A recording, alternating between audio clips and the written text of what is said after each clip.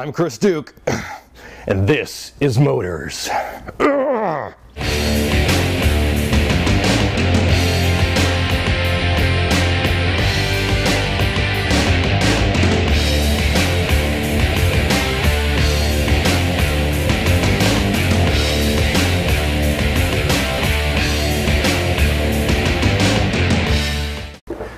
Welcome to Motorz. Today we've got a special guest star in the shop. It's David Wheeler from Hellwig Products. He came down from Visalia, California to help us install these front and rear sway bars on our project truck, Ford F-150. Welcome to the show, David. Hey, Chris. You want to talk about sway bars for a little bit? Sure. Right on, let's do it.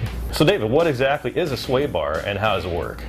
A sway bar is essentially a torsion bar, Okay. and it doesn't come into play until the vehicle tries to take a corner. When the body tries to roll, the sway bar pushes back against the body, keeping the vehicle flatter and improving handling performance. There's a lot of other manufacturers out there that make sway bars. How does Hellwig's products differ from them? Hellwig is the only manufacturer in the aftermarket making a heat-treated 4140 chromoly steel sway bar. What that means to the end user is that a heat-treated bar is 50% stronger in fatigue strength than a non-heat-treated bar. And that means that this sway bar is going to handle a lot more abuse and Right. not fail in a demanding application. So David, we've got our project vehicle here. It's a Ford F-150. It's been lifted up six inches and it's on 35s. Once we put the front and the rear sway bars on this thing, what kind of differences can we expect to see? The front bar is going to be an eighth of an inch upsize over the stock bar. Okay. The front bar is going to be inch and 7 sixteenths, which is about a 30% improvement in roll stiffness over the factory bar. The rear bar is a 1 inch diameter bar, which is going to be 100% improvement over what's on there, which is nothing. So we're adding a rear sway bar, upsizing the front sway bar, which means the vehicle is going to stay flatter in the turns, easier to control, and better performance under towing and under loads. Cool. Looking forward to that. And so, what other products does Hellwig make, and what kind of vehicles?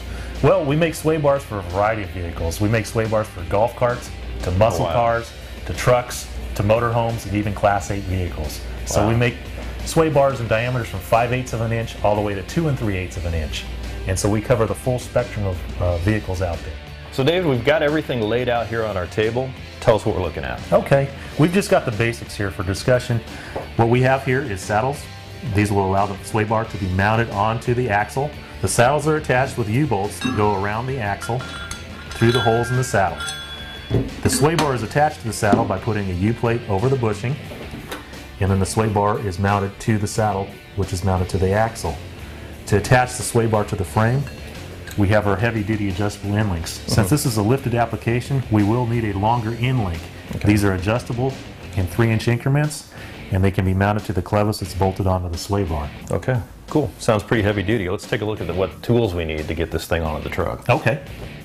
Sway bar can be installed with basic hand tools, a couple of end wrenches in 9 16 and 5 8 an adjustable wrench, a few sockets here. We have 5 8 11 16 and 3 quarters, a ratchet, a 6 inch and a 3 inch extension, and a torque wrench, which is preferable for torquing the U-bolts to the proper torque. All right, right on. Let's get with the installation then. Okay.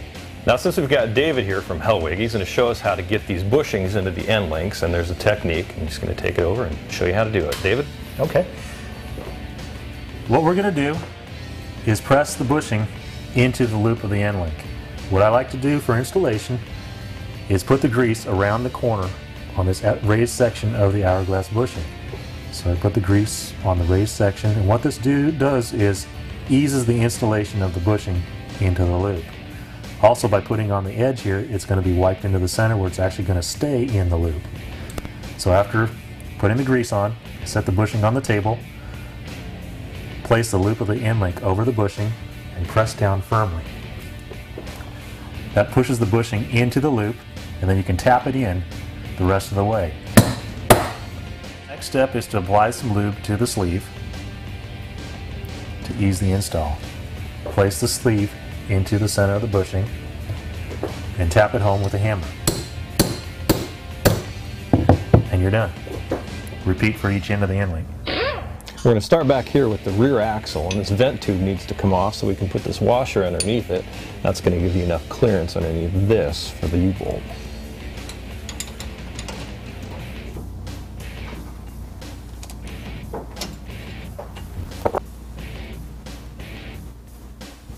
Next, we need to install this U-bolt in a saddle bracket over the cross member for the spare tire.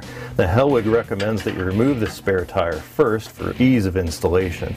The other thing that we needed to do is, since the exhaust on this truck is aftermarket, we needed to remove it from here for ease of installation. What we're going to have to do later is rework the exhaust to get around the sway bar once it's all installed.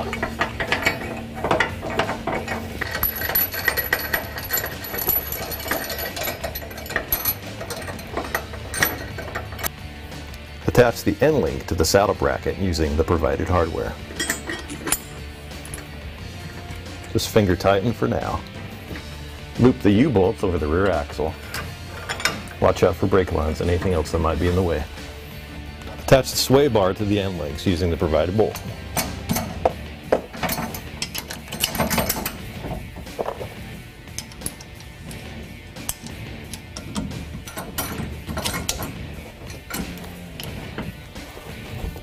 There it goes.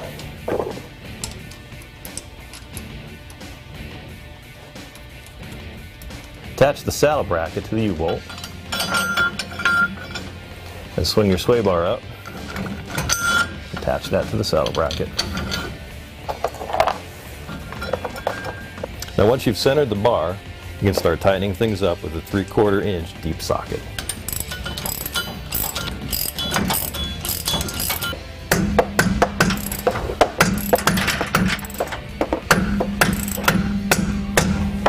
After you've hand tightened everything, you want to torque it down with a torque wrench.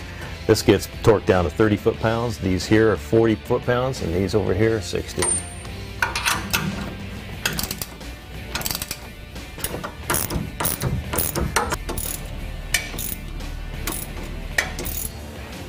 Now we've got the rear sway bar all installed, it's time to turn our attention to the front of the truck here.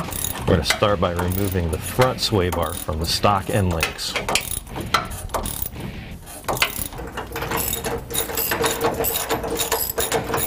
Now we've got the bolts removed from the front sway bar, it's time to take the sway bar down. So here's our stock sway bar from Ford. We'll compare that next to the Hellwig, which is an eighth of an inch thicker. Now once we put the lubricant inside the bushing, we just slide that onto the front sway bar. And then slide the U-plate over the bushing.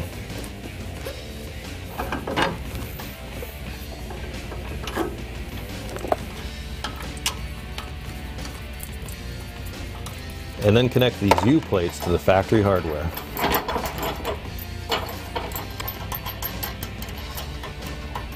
And finally for the front sway bar, tighten down the front end links. We took a look at reattaching the tailpipe back up to the truck, but because the sway bar is now in the way, it won't work. So we're going to have to take this to a muffler shop and have them do some customization on it. Demonstrating the effectiveness of a sway bar in a vehicle through video is very difficult, but we used our equipment on our F-150 through a slalom test drive at 30 miles per hour using half steering wheel turns back and forth. The video on the top shows the stock truck, while the video on the bottom shows the truck after the Hellwig sway bars have been installed. Now here are the same two clips displayed side by side for a different perspective, slowed down by 50%. Now I'm going to slow it down again by another 25% and then freeze it on this frame right here to show you the amount of travel and the leaning to the right is much more significant with the stock vehicle and you can see that in the bed of the truck. For a completely different video perspective, we mounted a camera on the passenger side door aimed at the right front tire. If you use the chrome part of the bumper as a guide, you can see that there's much more travel on the stock truck. Now in case you missed it, I'll show that video again by slowing it down to 50% and I'm going to stop it right here and draw a green line on the screen that shows you the most dramatic difference in wheel travel. Well, David, thanks for coming all the way down from Visalia, California to help us install our sway bars on our project truck. Thanks, Chris. Thank you. It's fun. Uh, yeah, it was. all right, for more information on Hellwig products, go to hellwigproducts.com. And for more of our videos, go to motorz.tv. And please be sure to subscribe to our podcast on Apple iTunes. Hey, Chris. Thanks for coming down from Visalia. We want uh, right at the end. At okay. that point, the body is going to try and roll and the sway bar is going. the front sway bar is going to be upside about an inch and an eight, or eight of an So, David, we've got everything here laid out on our table. Tell us what was. rear thingy here. That thing. More cowbell. Next we need to install the U-bolt. A U-bolt. Right. Damn. Yeehaw! I don't need air tools. Well, thanks, David, for coming all the way down from Visalia, Cali. Just gonna go ahead and put a little bit more grease right here.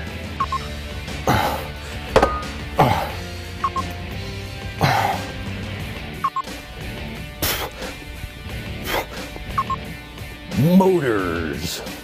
It's quite a workout. Zoot!